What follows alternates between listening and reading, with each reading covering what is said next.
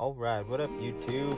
Abram SF here. Don't forget to like and subscribe and click that bell if you want to get notifications and see awesome runs of Knife Hit just like this one.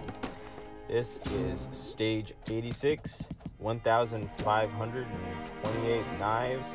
We get to see two rare bosses and one legendary boss, making this one of my most legendary runs so far. I hope you enjoy it, and I hope you enjoy the music. I'll see you at the end of the video.